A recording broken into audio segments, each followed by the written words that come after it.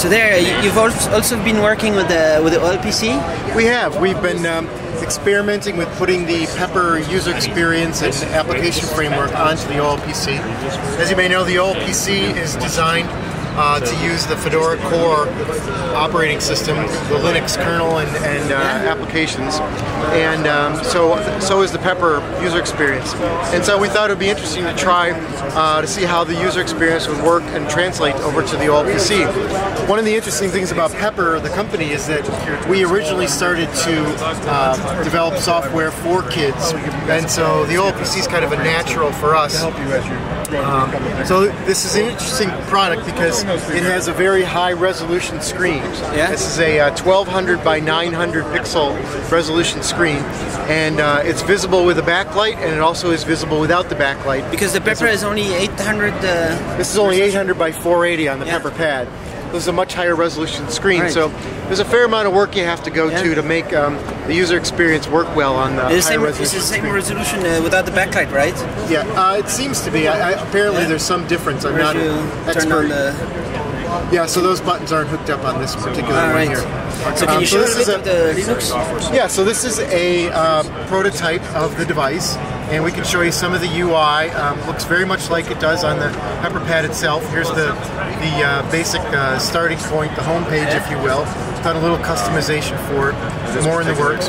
Here's the photo the photo library. Um, package um, that you can use that the kids can use to organize their photos. Yeah, could you click Uh, on one to see the big? Sure.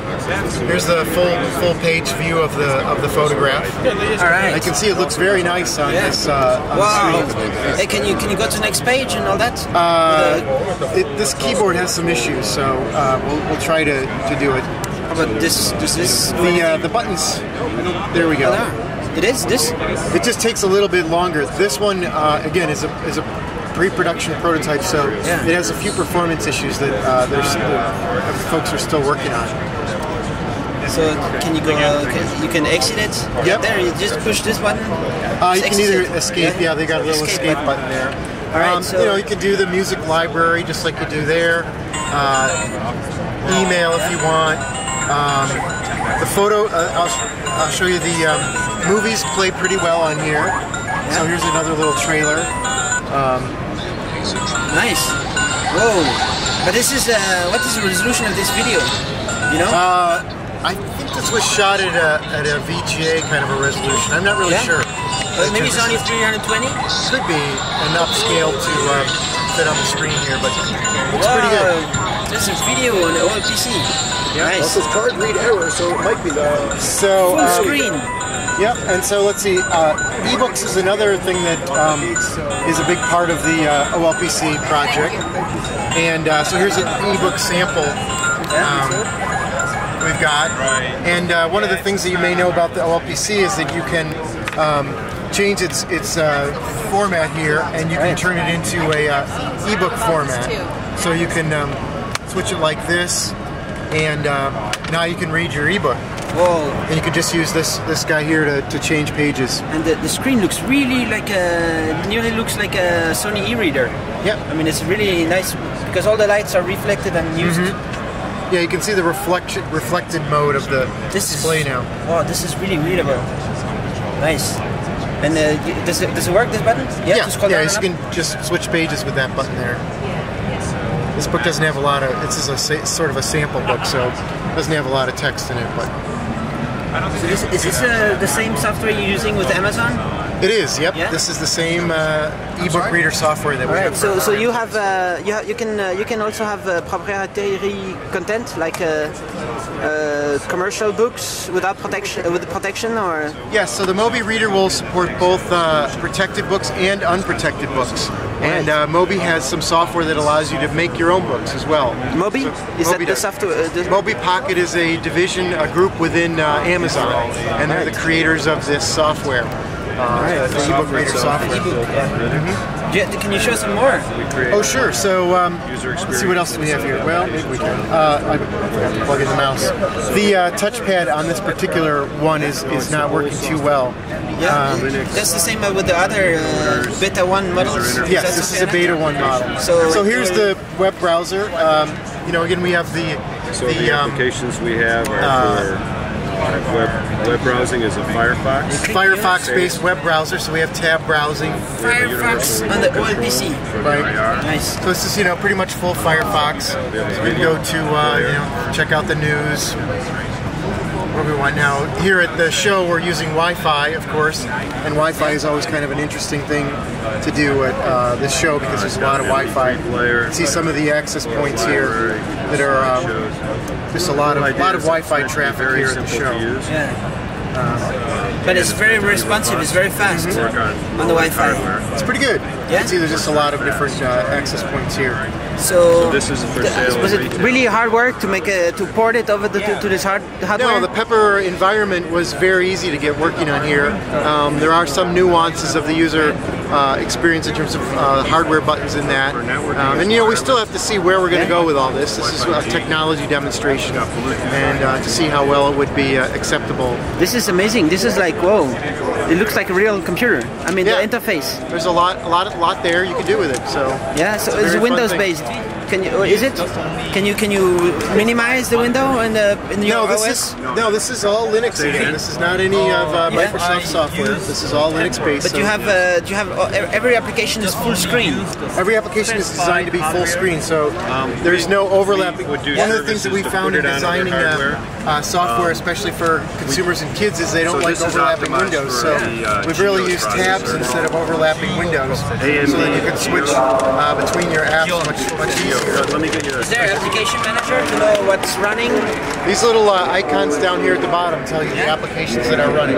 Down there? So you can see those little guys there. So, c- can you just shut them down all of the uh, all at one time, or you have to do it uh, separately? Um, you know, you don't really have to shut them down as much as you can. Um, it's easy to do. You just click the red button and Yeah. uh, I mean, it's really multitasking, or is it? Absolutely, That's multitasking. Particular It's, it's real Linux, so you can So we run you know, do all kinds of stuff at all the same time. right now. So you can go Easily switch. x86 switch. processor. Yeah, if you want to go to So you know the Talk is we will application, you can launch the uh, Talk services application. for, uh, integrating it One interesting thing about the Talk application in Pepper is we support peer-to-peer distribution is uh, IM. So if you're in a mesh network, uh, which is one of the uh, things that um, uh, the OLPC is designed for, you can sign on to local IM there, and you can see some of the Pepper pads that are out in uh, here at the show.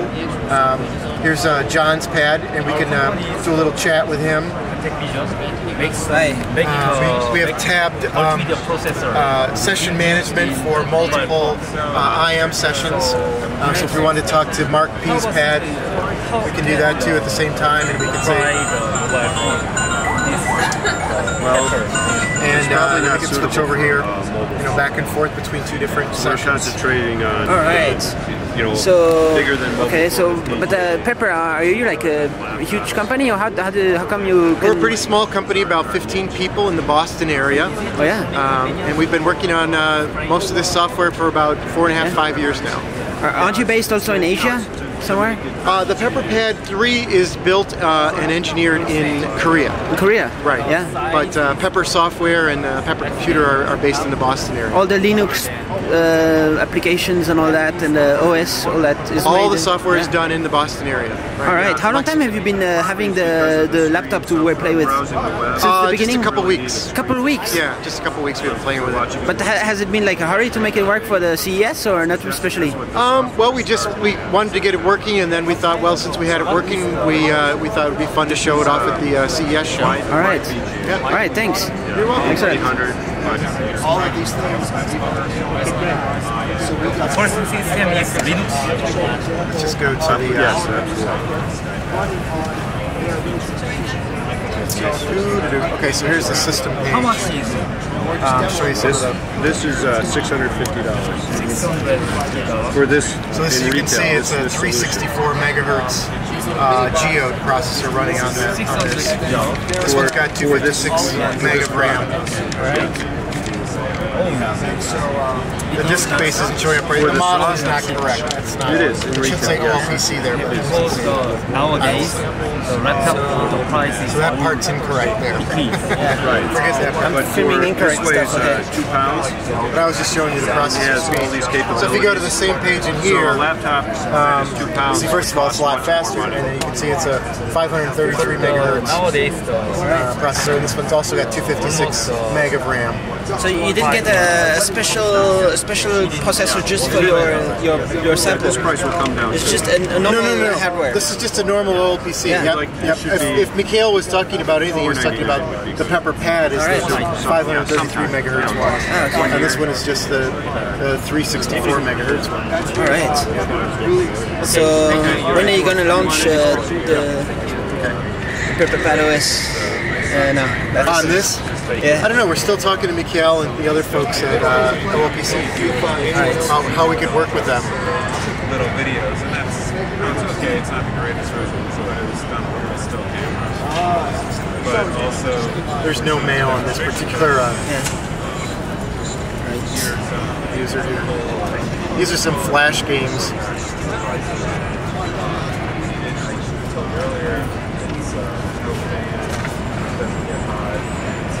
Ah, you can go to the casino.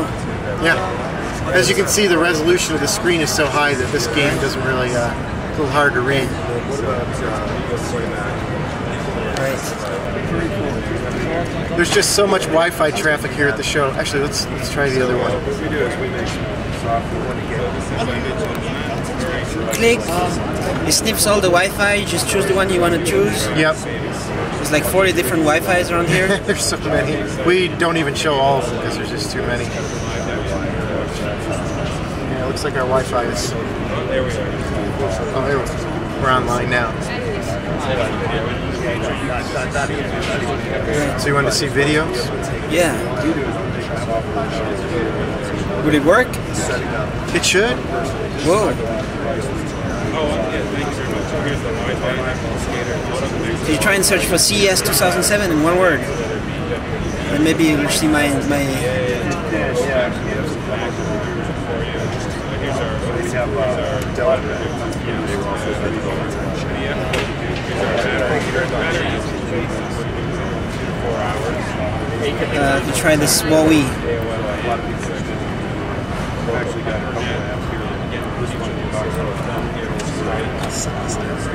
Are we still on Wi-Fi? Kinda. Right. So given the Wi-Fi, I really don't know what the performance will be, but we'll see. Check. No, I mean, as long as this is uh, Wi-Fi, as long as you're doing access So uh, there's uh, how much memory on the, on the 256 meg and a half a gigabyte of flash memory for storage. half a storage. gigabyte? Not exactly like that. You can just put another memory card there. Yep, you can do that too. Web, it gets all yeah, yeah, talk. It's like a little. It might be sometimes. So what if I click? Uh, Yeah, you can click download. That'll work. Might want to pause this though, so it, it- so it might download a, a AVI. that should be okay. Yeah. There you go. 31 megabytes. But it's gonna be like a.